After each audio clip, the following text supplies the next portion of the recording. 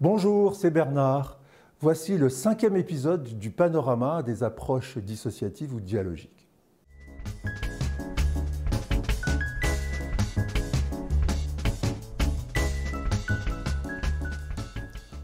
Aujourd'hui, je vous propose d'examiner avec moi un monument, un héros à la fois théoricien et développeur d'une immense créativité.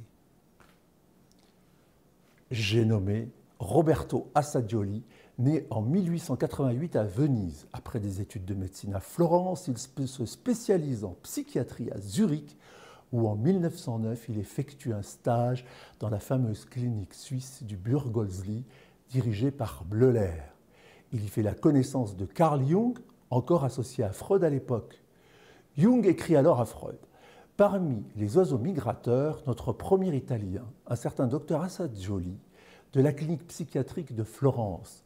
Ce jeune homme est très intelligent et paraît très cultivé, un adepte enthousiaste qui entre dans notre domaine avec le brio nécessaire. Roberto Assagioli introduit la psychanalyse en Italie pour finalement se démarquer de la théorie freudienne avec la thèse de son doctorat en psychiatrie qui est une étude critique de la psychanalyse. Tout comme Jung, il fait la distinction entre différents plans d'inconscient, alors que Freud considère l'inconscient comme un tout. Comme Freud et Jung avant lui, Assagioli va élaborer la topique de la psychosynthèse. Elle est représentée par un œuf. En 1, l'inconscient inférieur, centre des pulsions primitives, des blessures de l'enfance, des désirs refoulés. En 2, l'inconscient moyen, centre des activités créatrices, imaginaires et intellectuelles, lieu de gestation. En trois, l'inconscient supérieur ou supraconscient, centre des intuitions profondes, des états altruistes et des facultés les plus élevées de l'esprit. En quatre, le champ de conscience, territoire où se manifeste le flot incessant de sensations, d'images, de pensées, de sentiments, de désirs. En cinq, le soi conscient ou je, centre de la conscience et de la volonté, capable de prendre ses distances par rapport aux aspects de la personnalité. En six, le soi supérieur ou spirituel, transpersonnel, là où l'individualité et l'universalité se confondent. En sept, l'inconscient collectif, magma dans lequel nous baignons, animé par les structures archaïques et les archétypes on peut observer ici une certaine similarité avec la topique de Jung. Le psychisme est constitué d'une âme fondamentale et éternelle, ainsi que d'une personnalité essentielle, mais relativement superficielle et changeante. Celle-ci est composée de trois parties principales, la conscience de soi, le jeu et le soi supérieur. La plupart d'entre nous se contentent de vivre dans un champ de conscience restreint, notre réalité quotidienne, et ne communiquent pas avec les autres parties de leur psyché. Les personnalités secondaires. En chacun de nous, des personnalités secondaires parcellaires ont leur existence propre et ne correspondent pas toujours à nos aspirations profondes.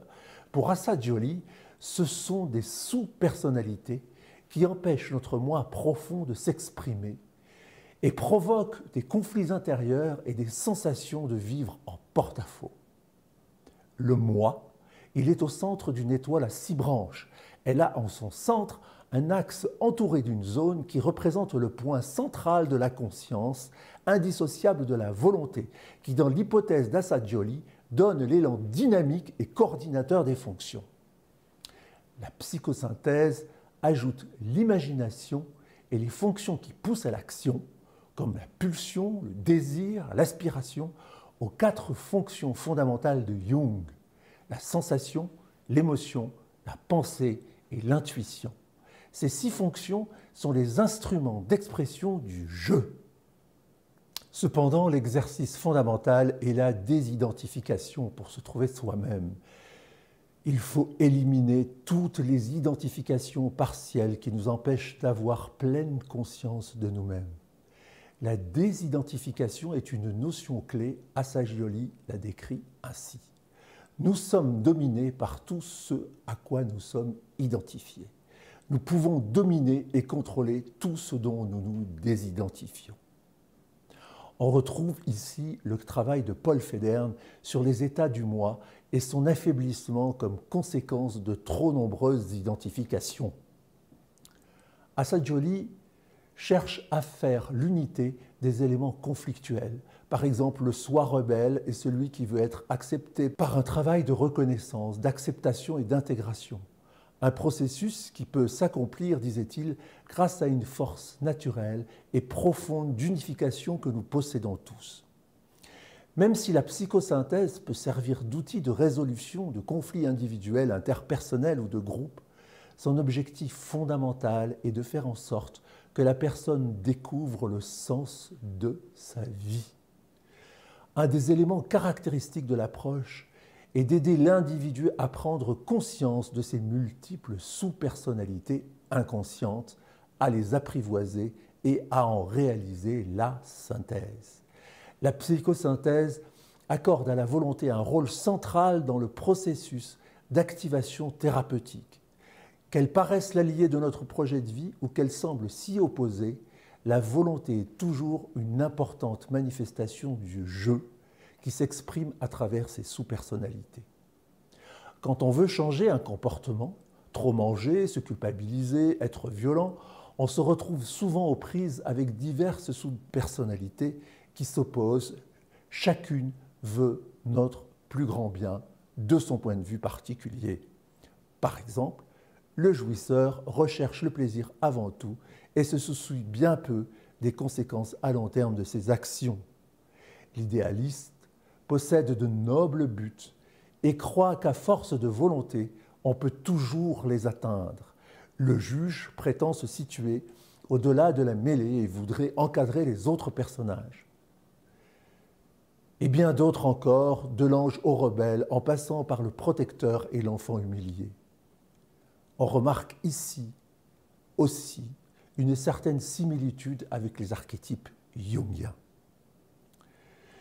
Durant une séance, le thérapeute peut amener la personne à s'identifier tour à tour aux divers personnages qui la composent. Chacun pourra prendre la parole, bouger, vivre des émotions, se confronter aux autres. Le rôle du thérapeute est de demeurer le gardien de chacun des personnages de leur permettre de prendre la place qui leur revient et de favoriser la communication entre eux. À la fin d'une séance, peut-être que l'idéaliste comprendra mieux les motivations et l'utilité du jouisseur. Rassuré, il pourrait consentir à lui laisser plus de place. Ou alors, le juge découvrira que malgré ses bonnes intentions, il n'est pas le soi, mais une simple sous-personnalité comme les autres. Il pourrait alors cesser de croire qu'il doit absolument tout contrôler. Toutes ces étapes constituent des pas vers une plus grande synthèse fondamentale. La psychosynthèse est probablement la première psychothérapie intégrative et elle demeure aujourd'hui l'approche dissociative ou dialogique la plus complète. Après avoir présenté les différentes approches, nous ferons une petite étude comparative et différentielles pour mieux les situer les unes par rapport aux autres.